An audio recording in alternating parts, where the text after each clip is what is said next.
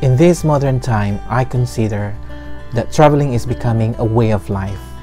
Some places are becoming more accessible, thus it increases our awareness in understanding what cultural diversity is. Over the past years, I traveled to several places which are very different to where I grew up and made me realize that these differences made the world a beautiful place to live in. As a result, I am convinced that traveling is indeed a humbling experience. We therefore need to protect our environment and culture as it defines what we have and who we were in the past and preserve it for the future.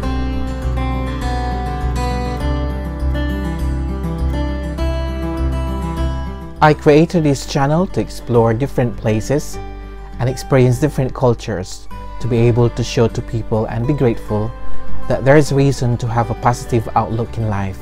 I personally believe that traveling is finding and keeping someone's inner balance and motivation to work hard and enjoy life.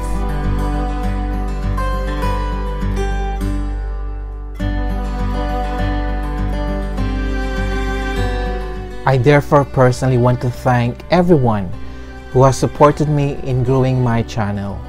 You have inspired and motivated me to explore more places and hopefully to be an inspiration in understanding ourselves, our beliefs, our lives, and the world we live in, even if it's beyond our immediate environment.